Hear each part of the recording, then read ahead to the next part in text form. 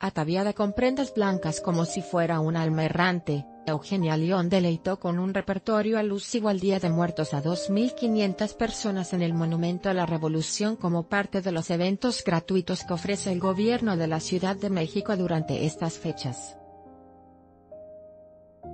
En punto de las 19 horas, y con la noche de escenario de fondo, el rugido de león se hizo presente acompañado de una ligera lluvia que no dejó agüitar a los asistentes. Me gusto es, corrido de la mujer y caótica belleza resaltaron el poder femenino durante sus primeras canciones. Julieta Venegas se hizo presente, en forma de un cover donde Eugenia le cantaba al cielo, el presente es lo único que tengo, el presente es lo único que hay, moriremos de neumonía, si nos vamos a morir vayámonos enfermando, bromeaba con los asistentes cuando el clima no daba tregua.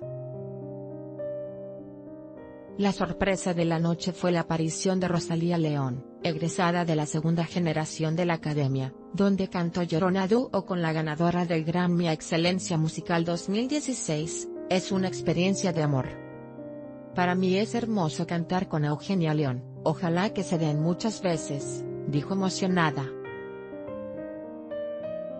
La helada transcurría mojada y aún debían las canciones para los muertos, aquí dio gala con temas como La Bruja, cerró los ojitos y montón de tierra. En esta última canción sentenciaba sobre la muerte que algo debe tener de bonito, pues nadie regresa.